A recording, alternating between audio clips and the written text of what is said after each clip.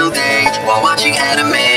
I pull her from my screen, just like in my dreams. I want to feel her touch, mainly on my crotch. Oh, I want